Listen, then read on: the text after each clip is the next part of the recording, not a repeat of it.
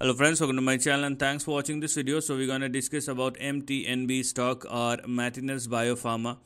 Now uh, when we are looking at the current price chart of mtns stock it looks like that stock is developing momentum and it is ready to move higher.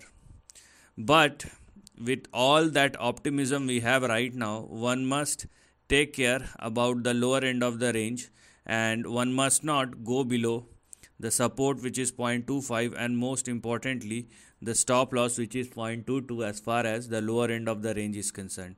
So number 1 please do not go below these two specific levels as far as the lower end of the range is concerned. Otherwise downside may start once again. That's number 1 number 2 because the stock is trading and sustaining above 0.25 and if it will continue to do so we have a big trading bounce back or an up move which by the way is indeed a trading move and you cannot expect it to sustain. So do not think about sustainability. Just focus on what is currently active. So because MTNB is now sustaining above 0.25, that's why 0.74 and 0.89 are the two specific levels which are currently active. If MTNB stock wants to surpass 0.89 or more, then it requires further breakout.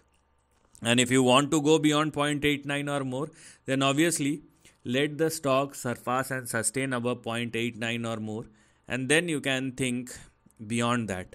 Right now, because MTNB is now trading and sustaining above 0.25, that's why this highlighted section is something which is currently active and that is what you need to focus on. Most importantly please do not go below 0.22 or lower. Otherwise a downside will further start again. So this is the end of the video. Thanks for watching